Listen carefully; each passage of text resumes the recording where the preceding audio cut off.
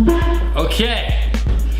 Other than being on like the loudest chair in the world, um, I'm also in my kitchen, so please excuse the echo, echo, echo, echo, echo. Sorry if my hair is a little out of whack. I was just playing with some dogs outside because those are my only friends currently. Why am I making this video? One, because it's not every day that I get to film in my kitchen. Am I right? Back with the sass. Okay.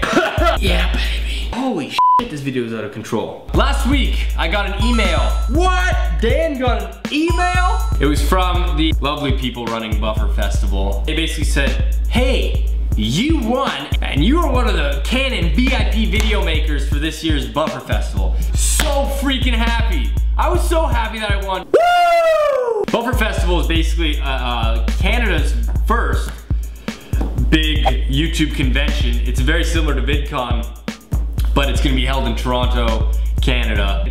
All these huge YouTubers like Daily Grace, CTFXC, Tay Live Lava Live. Gosh, just so many YouTubers. So many. You know it's a lot when my eyes go up like this and I say, so many, so many. So if you are in the Toronto area, the GTA, or anywhere for that matter, and you're willing to fly to Toronto uh, for Buffer Festival, I highly freaking suggest you do it because it's gonna be awesome. Seriously, if you go to bufferfestival.com, you will get to see all the guests who are going there. It's awesome. And fun fact, guys, fun fact. If you go under Canon, Canon contest on the website, there's a, a little bio from me that I wrote. So you guys should go check it out. Team Danocracy. If you cannot make Buffer Festival, follow me on my Instagram or Twitter because I'll be posting, updating, and constantly I already used my two words because I will be posting and updating while I'm there. So you guys can kind of like be there spiritually and be there electronically with me. Now I feel like I'm gonna be doing a collab video because I have like this empty chair beside me, but I assure you guys.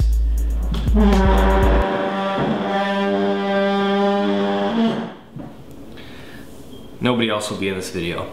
Thanks a lot for watching guys. Hopefully you enjoyed this video. It was a quick one, I apologize. It was just more of like an updating saying that that entry that I posted, I don't know, two weeks ago, got selected and I won. See you guys later.